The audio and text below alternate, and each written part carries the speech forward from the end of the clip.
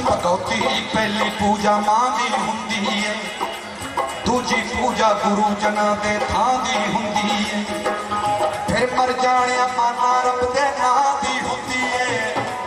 ਫਿਰ ਮਰ ਜਾਣਿਆ ਮਾਨਾ ਰੱਬ ਦੇ ਨਾਂ ਦੀ ਹੁੰਦੀ ਏ। ਫਿਰ ਮਰ ਜਾਣਿਆ ਮਾਨਾ ਰੱਬ ਦੇ ਨਾਂ ਦੀ ਹੁੰਦੀ ਏ। ਫਿਰ ਮਰ ਜਾਣਿਆ ਮਾਨਾ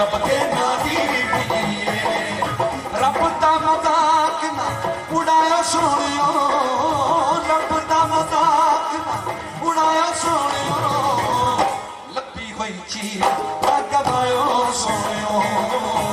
ਲੱਭੀ ਹੋਈ ਚੀਜ਼ ਨਾ ਗਵਾਇਓ ਸੋਹਣਿਓ। ਗੁਰੂ ਦੀ ਗਰੀਬ ਦੀ, ਕਿਸੇ ਬਦਨਸੀਬ ਦੀ ਮੁਹੱਬਤ ਤੋਂ ਨਾ ਕਟਾਇਓ ਸੋਹਣਿਓ। ਲੱਭੀ ਹੋਈ ਚੀਜ਼ ਨਾ ਗਵਾਇਓ